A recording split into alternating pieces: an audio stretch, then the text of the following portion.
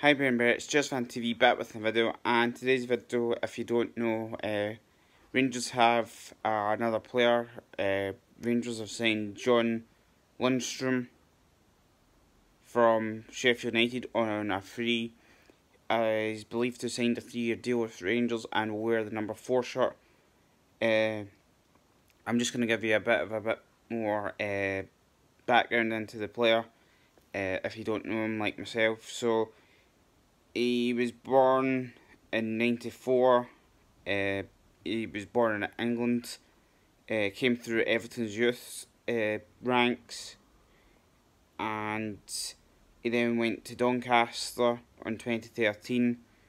Uh, made 14 appearances. Then went to Yeovil.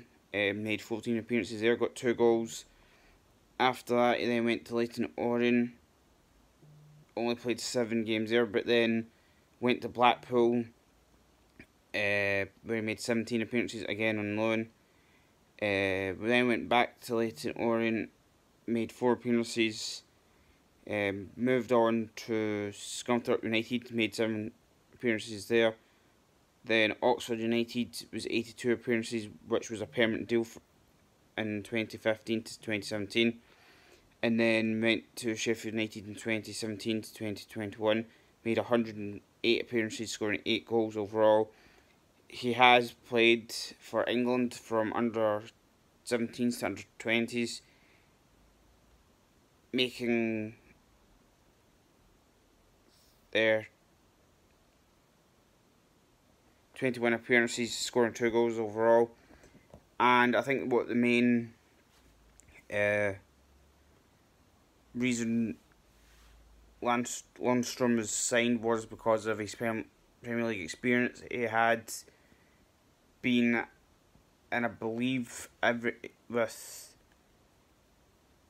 Sheffield United, he got them up promotion. He scored in every division in England, so he's obviously been there, seen it, done it. At 27 as well, sounds like he's got a lot of experience, and I think anyway to have another midfielder just I suppose would give Rangers an extra option. It kind of gives us cover.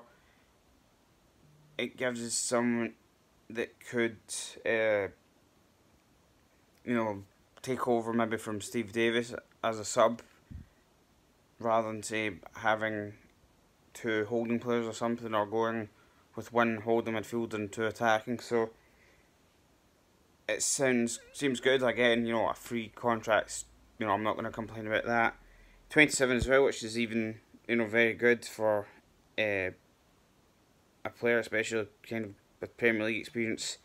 So the fact that he's 27, I think, is very good. So he'll have, you know, you're talking about what about 30, 31 ish when his contract ends or could end. So be very good to see him play.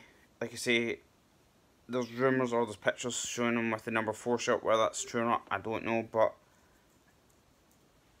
we'll just, you know, say it's possible.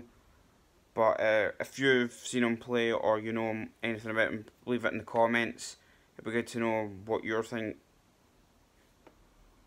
the player is, if he's very good or not. Big thanks everyone as well to help the channel reach uh, 210 subscribers. We're now on the road to 220. And like I said, big thanks to everyone that's been watching and supporting the channel. If you haven't, please hit the like button, hit the subscribe button. And I'll be back later on when the Rangers game, I believe, are their way to Partick. That's when a friendly tonight. So, be interesting to see what happens there. Obviously, you know, Morelos isn't there due to Copa America. I think there's